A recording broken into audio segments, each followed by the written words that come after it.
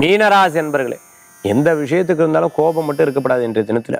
யதார்த்த கோபங்கள் ஏன்னா கோபம் சில நேரத்தில் பார்த்தீங்கன்னா நமக்கே ஆரோக்கியத்தை கொடுக்கும்னு சொல்லுவாள் கோபம் படுற மாதிரி நிறைய பேர் பேசுவாள் கோபம் படுற மாதிரி நிறைய பேர் சிந்திப்பா. சில பேர் நீங்கள் சொல்லாத சொன்னேன் அப்படின்னு சொல்லுவாள் சில பேர் சொன்னதை சொல்லவே இல்லைன்னு சொல்லுவாள் அது ஒரு பெரிய டென்ஷனாக இருக்கும். அதனால் பெருசாக அது கவலைப்படாதீங்க. காலை வேலைகளில் இருக்கும் மத்தியான வேலைகள் சுமூகமாக முடியும்.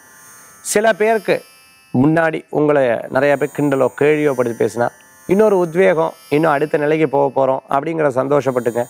அந்த உத்வேகம் நிச்சயம் உங்கள் வாழ்க்கையில் பெரிய மாற்றத்தை ஏற்படுத்தி கொடுக்கக்கூடியதாக இருக்கும். அதனால் இன்றைய தினத்தில் சின்ன சின்ன விஷயம் நமக்கு அனுபவ பாடமாக இருக்கக்கூடிய வாய்ப்புகளை ஏற்படுத்தி கொடுக்கும்.